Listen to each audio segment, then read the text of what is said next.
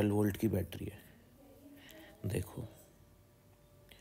यहाँ पे equivalent resistance कितना है? फाइव और ट्वेंटी का कितना हो जाएगा?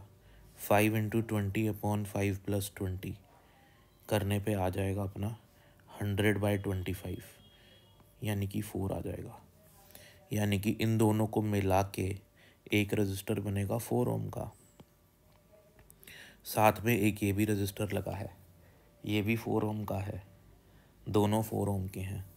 Four plus four eight ohm. तो ये जो पूरी ब्रांच है, इस पूरी ब्रांच का रेजिस्टेंस है एट ओम। ऐसे ही ये जो नीचे वाली ब्रांच है, इसका भी टोटल रेजिस्टेंस है एट ओम। तो ऊपर भी एट ओम, नीचे भी एट ओम। ठीक है। अब होगा क्या?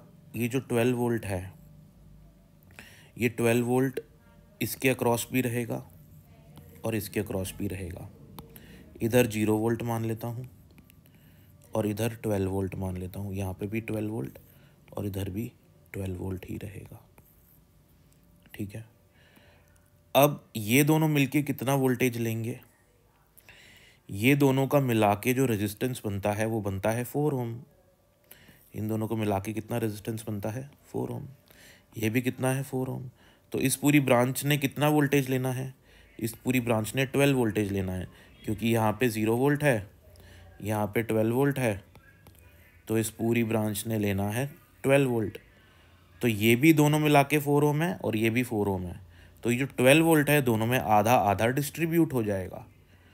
तो यानी कि ये लेगा सिक्स वोल्ट और ये भी लेगा सिक्स वोल्ट। क्वेश्चन ख़त्म। तो ये कितना वोल्टेज कंज्यूम करेगा? Potential difference. इसके अक्रॉस कितना रहेगा? सिक्स वोल्ट का। हो गया क्वेश्चन बिना कुछ सॉल्व करे हो गया। बस ये देखना था।